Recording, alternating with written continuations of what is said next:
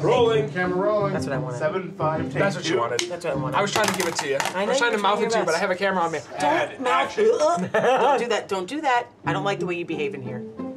Are we going? Yes. Action again. Wait a minute, Jake's thinking.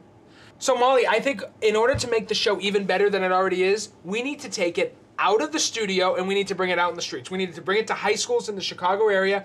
We just need to get out of the studio. It's too stuffy in the studio. Do you know what we need to do?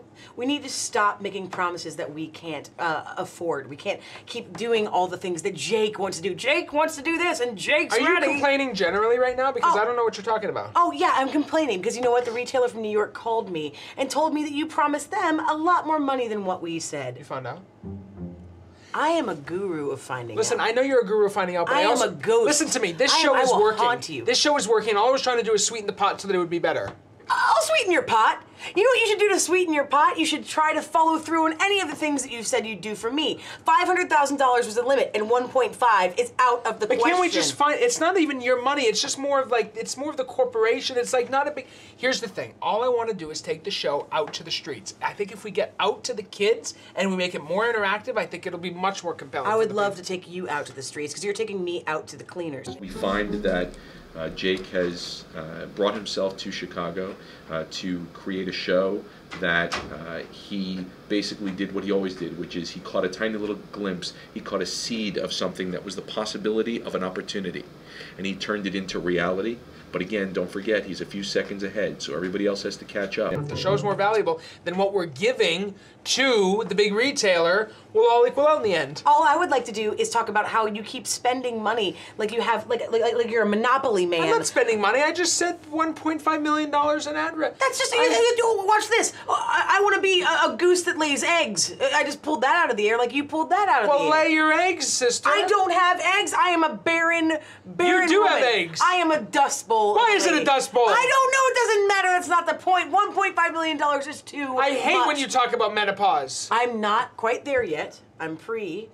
Pre. Then why is it a dust bowl? I am not- confused about the female It doesn't anatomy. matter. I know you are. Believe me, you. I have a lot of ideas about why you're confused about women. All I'm trying to do is make the deal worth it for them because I'm trying to do the best that I can for the Team Talk Show, and which is why I want to move this thing to the streets. Let's go to like Chicagoland high schools. Are you good with that? We need to get out of the studio. The studio's silly. No more money, Jake. I won't spend any more money that I don't have. If I mispromise something, I will reappropriate. So he moves to Chicago, and that's how we start off the, the show. And while he's there, working on this show, which isn't at all a show yet, he incidentally, accidentally, inadvertently, and entirely intentionally creates a second show. All I want your permission is to be able to take the show out on the streets. Can you support me to take it out on the streets?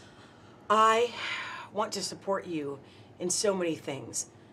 But if you don't stop making these promises, Jake, we're going to have a real big problem. Capiche? Carpe diem. It's not a thing.